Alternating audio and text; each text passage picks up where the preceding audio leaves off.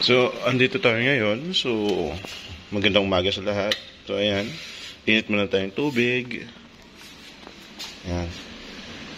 Tapos, andito na yung baso.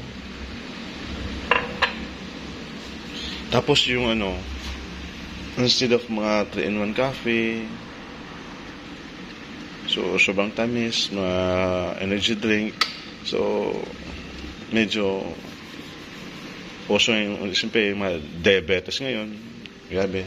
Pero, yun, yun nga, mas masakit sa ano, sikmura mo yung ibang kape. Pero, one day, may nakita ako dito kay Laate. So, ayun, yung ginawa ko. Try ko, pero, ayun.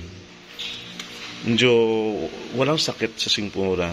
At alam mo kung ano yon Ito yon Buna Vita. So, i-try natin guys. Yan. I-boss lang natin.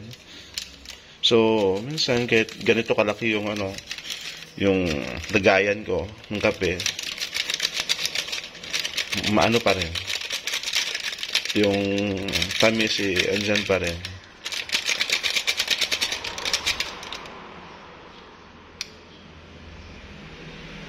So, ayan, yung ginamit na ano, pampatatwist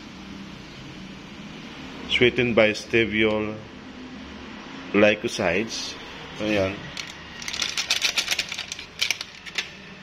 Ayan lagyan natin ng tubig. Ayan.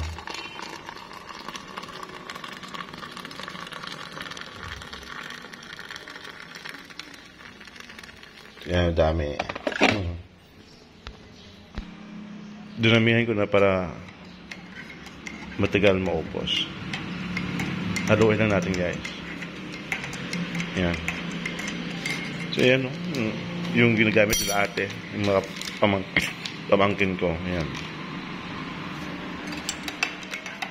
Lalo na sa mga acidic dyan.